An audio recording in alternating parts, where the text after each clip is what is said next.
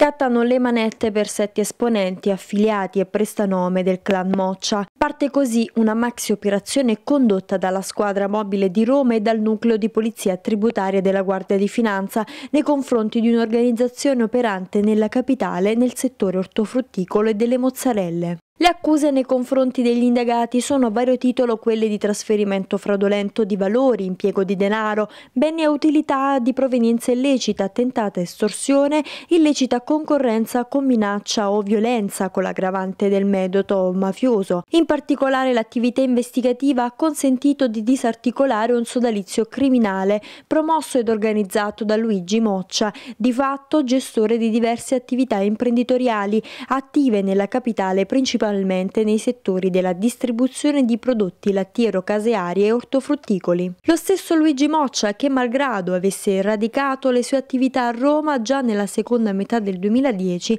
ha sempre mantenuto forti legami con il territorio d'origine, riuscendo ad inserirsi così anche nel settore turistico ed alberghiero.